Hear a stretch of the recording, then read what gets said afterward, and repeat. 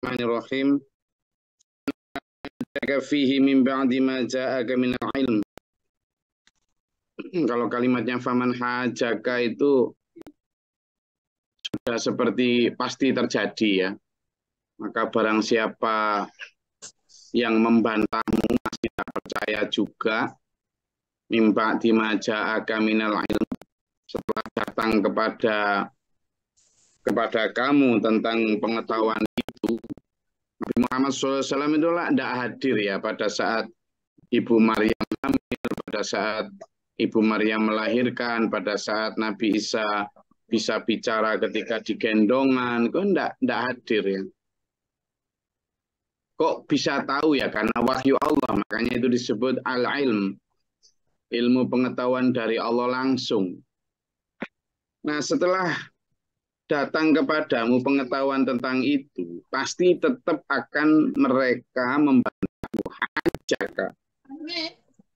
Kalau mereka sudah diberikan bukti kebenaran seperti itu, diberikan keterangan yang jelas seperti itu, kemudian mereka masih juga membantah, masih juga mendebatmu dengan berbagai macam alasan ini itu, ya sudah.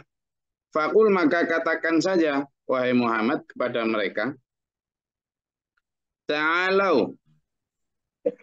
Yus gini aja. Karena perdebatan kita ini tidak akan ada ujungnya. Ditunjukkan semua kebenaran juga kamu tetap menganggap aku pendusta. Bahkan sampai hari ini loh. Orang itu menganggap Quran itu karangan, menganggap Quran itu copy paste sambil ditambahi dari Taurat maupun Injil. Bahkan ada yang mengatakan Quran itu hanyalah asatirul awalin. Asatirunal awalin, asatirul awalin itu apa? Cerita dongeng-dongeng orang dahulu. Dongeng-dongeng orang-orang tua, gugon Tuhon, ya kenapa? Ya karena gitu misalnya cerita tentang uh, cerita tentang Askabul Kafi. Itu kan sudah cerita ada sejak sebelum Nabi Muhammad ada. Cuma diluruskan yang benar seperti apa itu diluruskan oleh Rasulullah oleh Islam oleh wahyu Allah. Demikian pula cerita tentang penyalipan Nabi Isa. Yang kalau di sini eh, disebut sebagai syubah ya, diserupakan. Tapi menurut pemahaman mereka kan nggak diserupakan. Mana ada Yudas Iskariot? Ya Yudas Iskariot memang berkhianat. Nah itu kan bedanya di situ. Memang ada muridnya Nabi Isa yang berkhianat. Injil pun mengatakan itu. Artinya eh, orang Nasrani ya percaya dari murid-murid Nabi Isa itu ada yang berkhianat, tapi tetap berkhianat dan menjadi menjadi kompradornya orang-orang Romawi. Tetapi tetap selamat, tidak kemudian seperti dalam Islam. Waktu itu dianggap bahwa Yudas Iskariot berhasil pengkhianatannya. Kalau menurut siapa? Menurut kaum Nasrani, berhasil menunjukkan Nabi Isa, Nabi Isa juga berhasil ditangkap dan berhasil disalibkan. Tapi kalau Islam kan enggak, Yudas Iskariot memang berkhianat, menunjukkan lokasi persembunyian Nabi Isa. Tapi ketika keluar dari menunjukkan itu, Nabi Isa enggak ada, Yudas Iskariot lah yang disalib. Bedanya di situ. Nah, dalam banyak kisah itu juga terjadi seperti itu terjadi seperti itu. Termasuk kisahnya Nabi Ibrahim alaihissalam. Ya, kalau menurut eh, Nasrani maupun Yahudi kan yang disembelih itu Isfa, bukan Ismail yang dijadikan kurban waktu itu. Tapi menurut is Islam kan Ismail, Nabi Ismail. Seperti itu. Dan banyak lagi. Nah, tetapi mereka tetap mengatakan itu. Bahkan eh, tadi selain orang Nasrani dan Yahudi yang mengatakan Quran itu atau kisah tentang nabi-nabi itu sebagai copy paste, meniru dan menambah-nambahi orang-orang kafir Mekah yang musyrik yang bukan Yahudi maupun Nasrani itu mengatakan Quran sebagai asatirul awalin. Apa? Dongeng-dongeng orang terdahulu. Lah dongeng-dongeng orang terdahulu artinya ya dongeng pengantar tidur kayak sampean misalnya dulu kerap mendengar dongeng apa? Ya, konjen nyolong timun atau yang timun emas yang digodak sama raksasa gitu-gitu kan? Iya, iya, iya.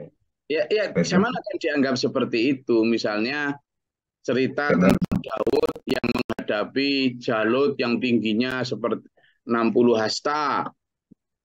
Ketika menceritakan seperti itu, ya orang-orang musyrik, apalagi ketika Nabi Muhammad SAW menceritakan tentang Isra wal Mi'raj, tentang Isra Mi'raj, wah ya wis wis asli dianggap apa ini membual, mengarang dan sebagainya. Nah, dalam konteks itu, maka jika hajaka mereka membantahmu Muhammad, ya sudah gini aja lah.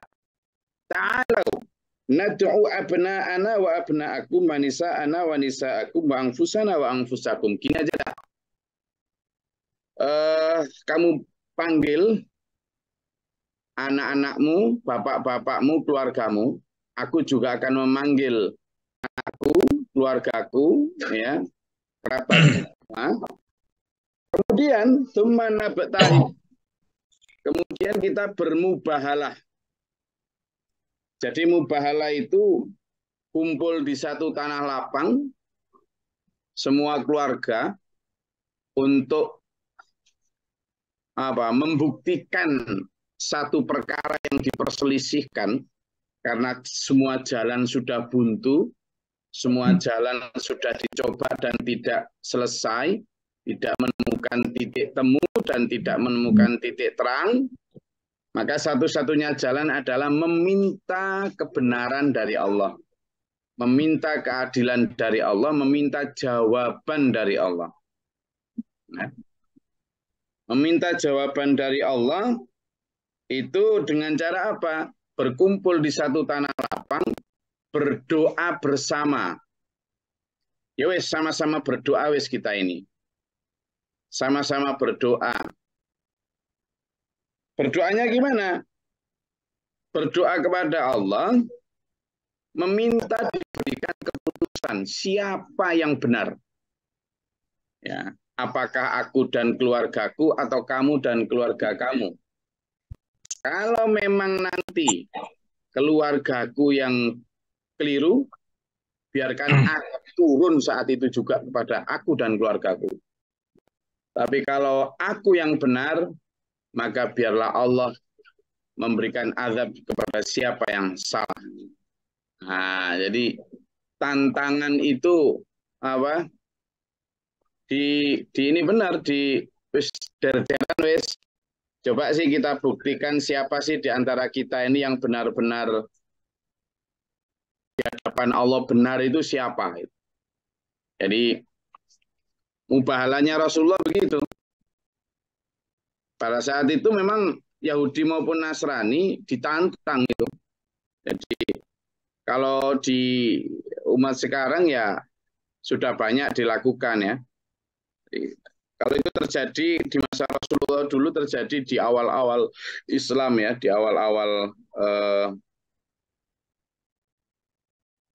penyebaran agama Islam sehingga memang mubahala waktu itu dalam surat ayat 61 surat Ali Imran ini peristiwa ini dikenal sebagai apa ya satu peristiwa besar. Tapi kemudian sekarang orang-orang Syiah justru menjadikan ayat mubahala ini sebagai dasar bahwa sebenarnya Ali itu adalah Eh, benar-benar nyatu dengan Rasulullah. Buktinya di sini disatukan dalam keluargaku dan keluargamu. Gitu. Nah, padahal pada saat itu sebenarnya Rasulullah sedang berdebat dengan para pendeta Nasrani dari pendeta dari daerah Najran dan mereka menolak beriman. Waktu itu berdebat ya eh, dengan mereka. Kemudian Rasulullah menawarkan itu mubahalah seperti itu. Kan tapi pada hari yang ditetapkan mereka awalnya ya ayo wes gitu. Awalnya sok-sokan apa? Tak ladeni wes tak itu sok-sokannya begitu awalnya. Nah tetapi pada hari yang ditentukan itu hari yang ditentukan itu sudah mereka awalnya sudah sepakat tuh tapi pada saat hari yang ditentukan Rasulullah kan datang tuh sambil membawa putri beliau yakni Fatimah Zahra kemudian juga Imam eh, Ali yang disebut imam itu kalau orang-orang Syiah disebut imam yakni Ali bin Abi Thalib, kemudian juga Hasan, kemudian juga Husain. Hasan Husain itu diajak dua-duanya, artinya cucu Rasulullah, putri Rasulullah, mantu Rasulullah datang ke situ ke lokasi yang sudah ditentukan untuk bermubahalah itu. Maka dengan kehadiran mereka itu kemudian di mana Rasulullah juga nanti akan meminta kepada Allah atas laknat untuk membentuk dan memberikan pada dua kelompok itu tidak jadi akhirnya tahun itu terjadi. Mereka pergi nggak berani. Mundur. Jadi ketika mereka tahu Rasulullah datang bersama dengan apa keluarganya yang memang orang-orang yang sudah dekat dengan Allah nggak berani mereka. Jadi ini terjadinya di Madinah ya, di daerah Najran.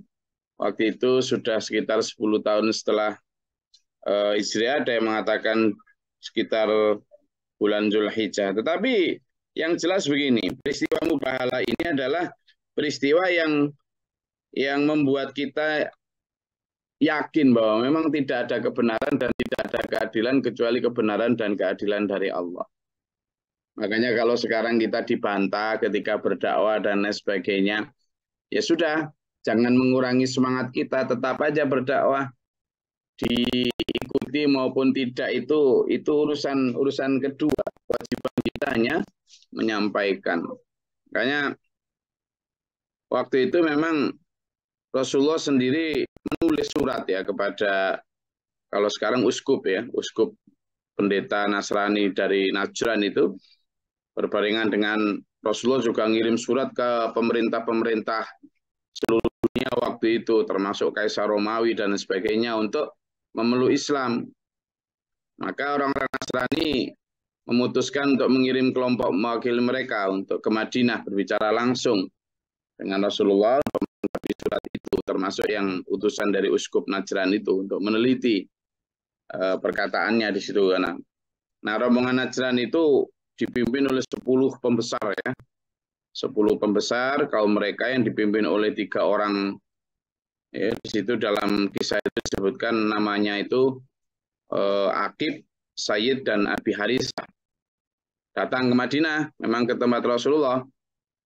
Nah, rombongan itu langsung berbicara kepada Rasulullah di Masjid Madinah waktu itu.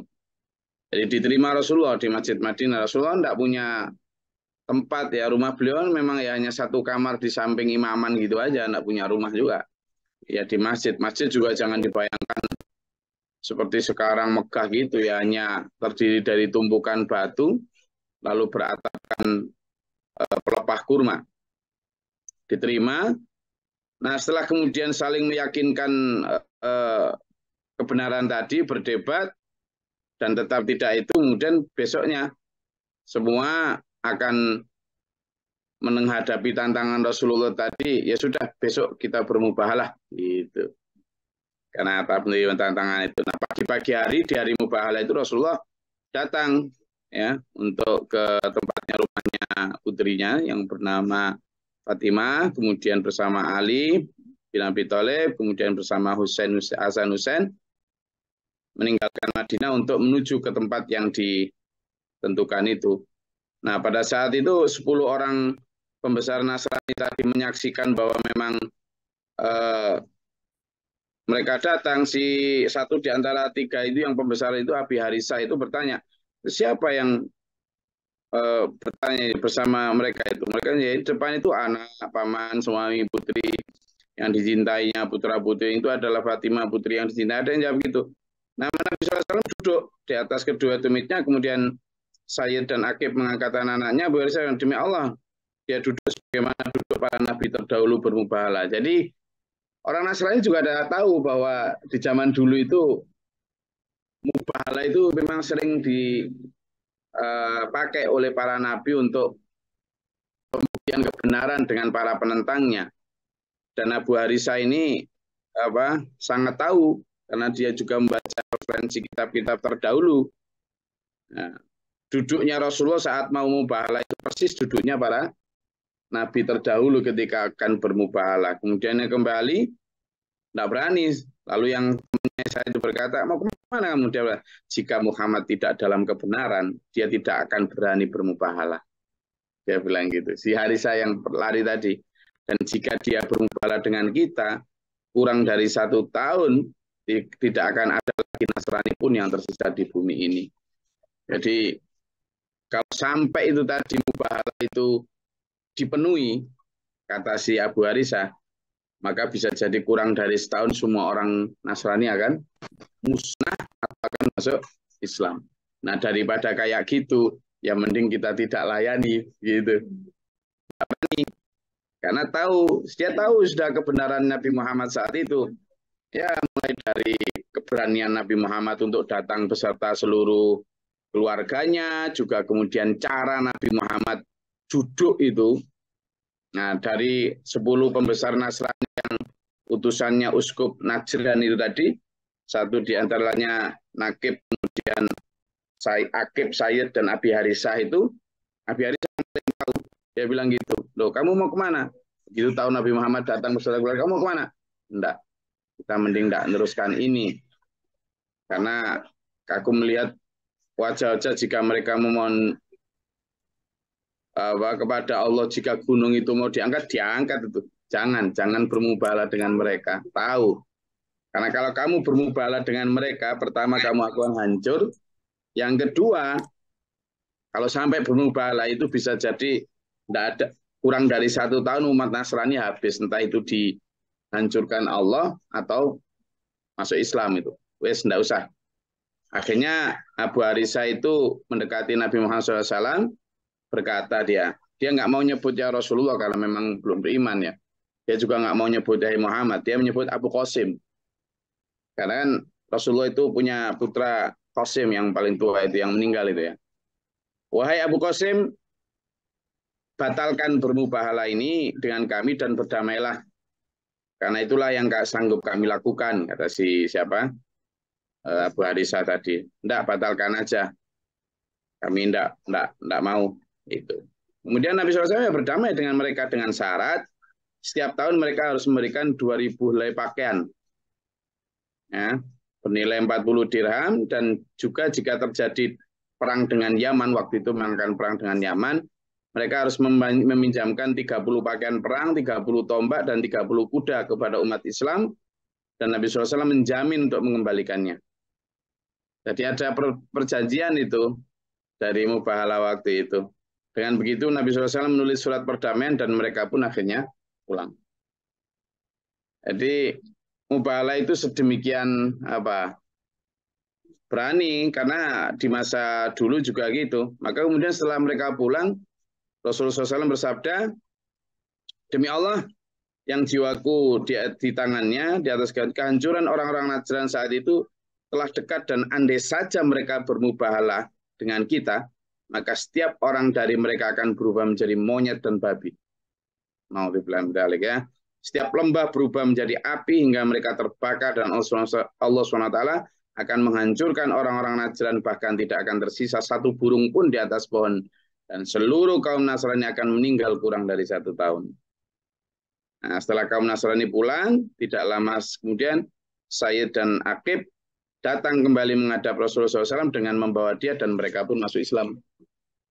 yang Said dan Akib, yang Abu Harisa tadi. Nah, ya karena Abu Harisa itu selain uh, pembesar Nasrani, dia juga ya sangat paham ya, waskitolah dari sisi orang Nasrani itu. Gitu. Jadi itu kisah mubahalah yang terjadi waktu Rasul sudah ada di Madinah ya, sudah permulaan Islam itu ya berarti ya. Tapi di di periode kerasulan Rasulullah sudah sudah mau mendekati akhir juga. Itu cerita atau kisah tentang mubahalah yang diceritakan dalam Quran Surat Ali Imran ayat 61 ini.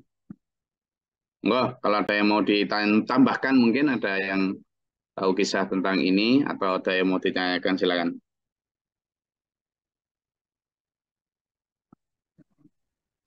Menit Iya. Bismillahirrahmanirrahim. Assalamualaikum warahmatullahi wabarakatuh. Waalaikumsalam Terkait mubahala, Gus. Itu kan salah satu cara untuk membuktikan sebuah kebenaran. Yeah. Nah, termasuk ini dilakukan oleh Nabi dalam hal membuktikan bahwa tauhid atau konsep ketuhanan yang dibawakan oleh Nabi itu adalah benar. Gitu. Mm-hmm. Nah, apakah strategi ini juga bisa diterapkan atau dipakai pada zaman sekarang? Manakala misalnya kita anggaplah berdebat itu, berdebat dengan siapa pun itu bahwa itu adalah salah, itu adalah melenceng. Termasuk misalnya dengan uh, di luar agama kita, Bu, misalnya. Oh itu konsepnya ketuhanannya salah, itu tauhidnya salah tuh. Apakah strategi atau cara mubahala ini bisa kita utarakan bahwa dalam hal menegakkan apa dalam hal membuktikan bahwa kebenaran itu seperti yang dilakukan Rasul untuk zaman sekarang gitu terutama dalam hal mendakwahkan tauhid gitu Gus baik itu ke, ke dalam agama kita sendiri ataupun keluar agama kita juga itu. Mohon pencerahan. Assalamualaikum warahmatullahi wabarakatuh. Assalamualaikum warahmatullahi wabarakatuh. Sebenarnya boleh saja, Pak. Ya. Jadi mubahala ini kan cara damai sebenarnya ya. Cara damai di dalam menentukan kebenaran setelah tidak adanya titik temu. Yang kedua, biasanya yang seperti ini itu untuk menanggapi fitnah ya. Menanggapi fitnah yang sudah berlebihan, tapi tidak diselesaikan dengan cara kekerasan ya. Nah, di masa Rasulullah ada dua ya. Kalau mereka memfitnahnya itu cenderung dan mengarah kepada kekerasan fisik, ya Rasulullah melawannya, mempertahankan diri dengan cara melawan perang juga. Dengan cara fisik juga, lu jual gue beli, kan gitu. Tetapi di sisi lain ada cara yang seperti ini juga. Lo ya sudah kalau kamu tidak percaya, bahkan menganggap kami pembohong, memfitnah ke sana kemari. Ya udah, sekarang sama-sama bertuhan kita. Kita minta keadilan kepada Tuhan.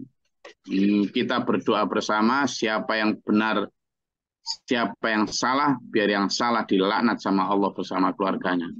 Nah, ini memang strategi yang dipakai, strategi damai. Sehingga apa pun yang terjadi itu benar-benar menjadi keputusan Allah, keputusan Tuhan. Sehingga tidak ada lagi dendam di atas itu. Karena nanti setelah misalnya dilaknat, misalnya penduduk Najran tadi, benar-benar meladani mubahalanya Rasulullah, lalu dihancurkan. Anda bisa dendam, kan berarti yang menghancurkan Allah itu.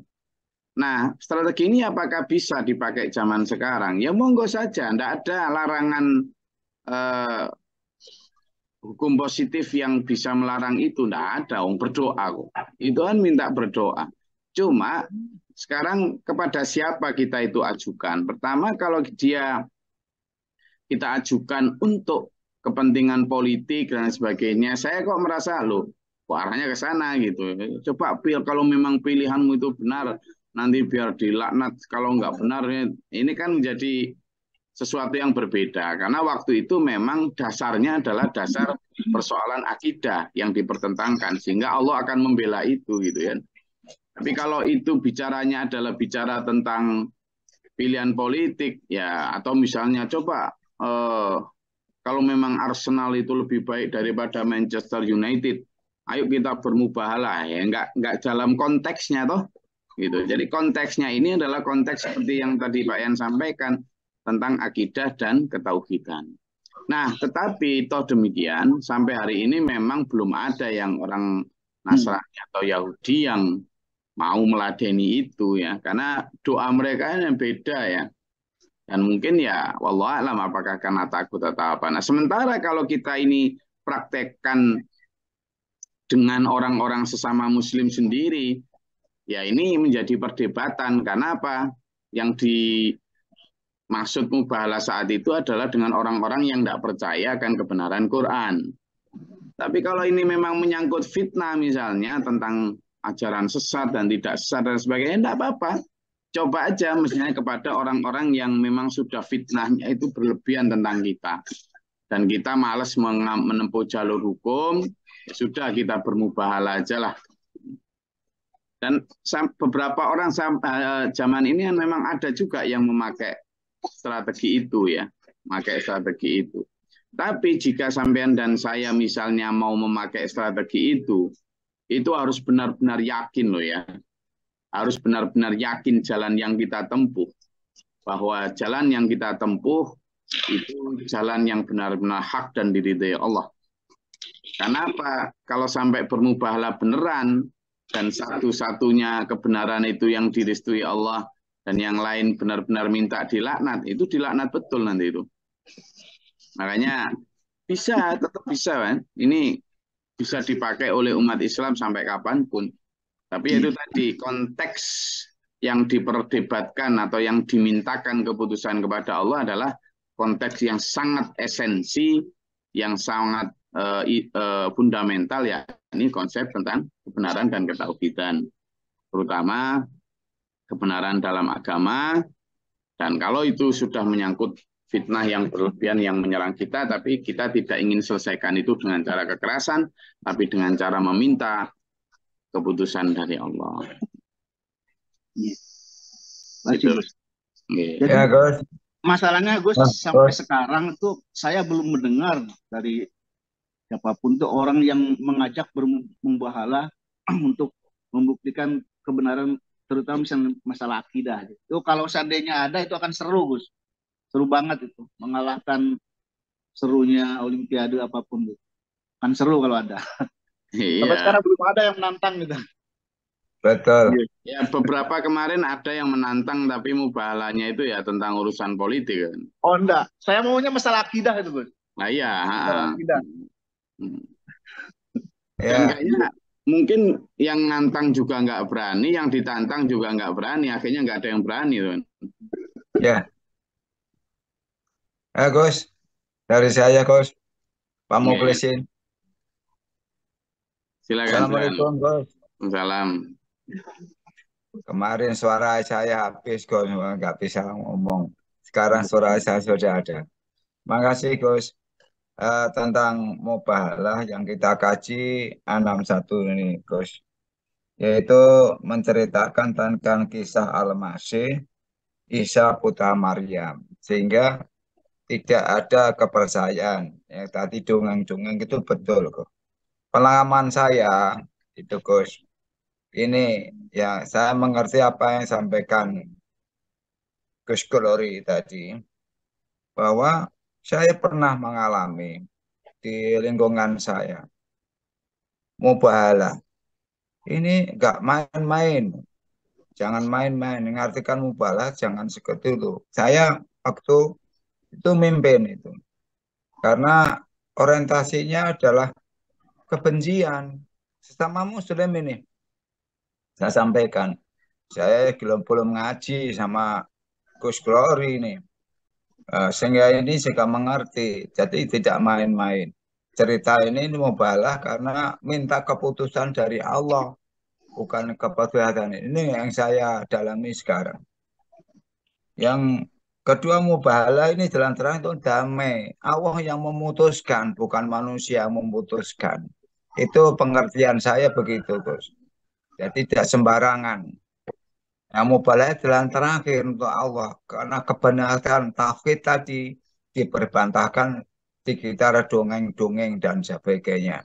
Tapi ini mengartikan semua muslim itu kok mubalah itu saya katakan itu jangan main-main dulu. Itu bisa diselesaikan dengan damai sekarang itu sudah Allah akan memaklumi gitu Gus pengertian saya itu.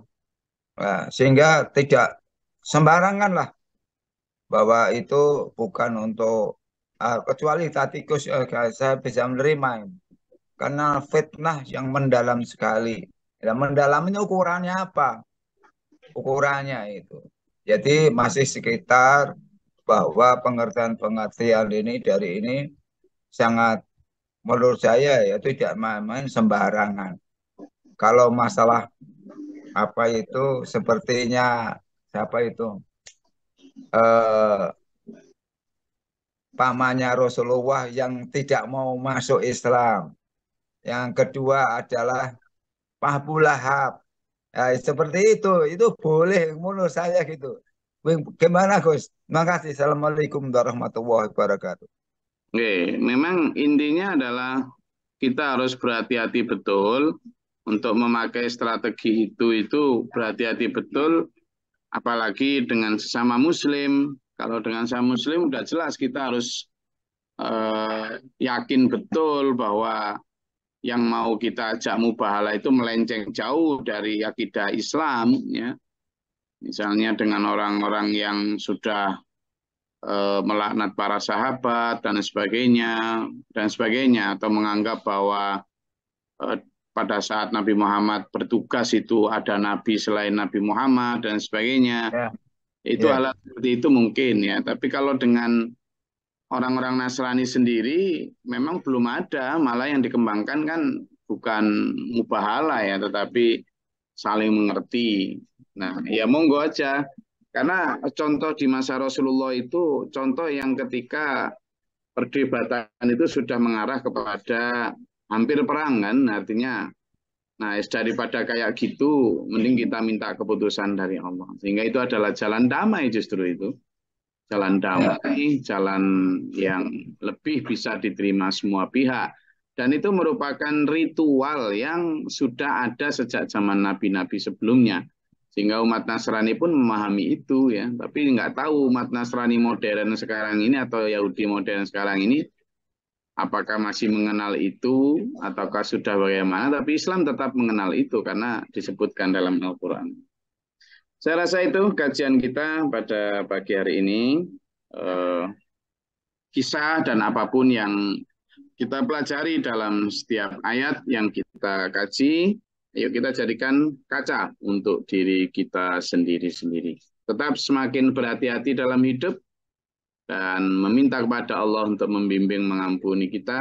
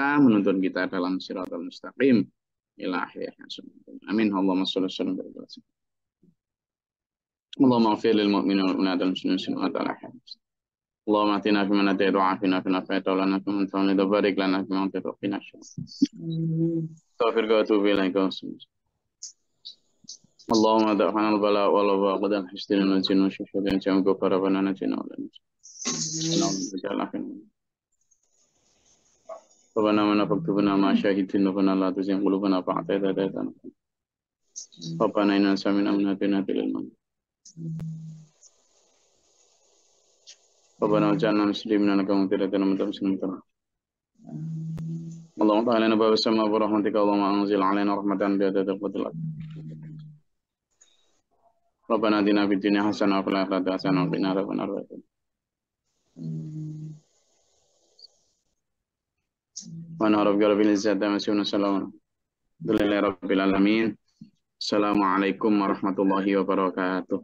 Waalaikumsalam warahmatullahi wabarakatuh. Allahumma rahamna bil Qur'an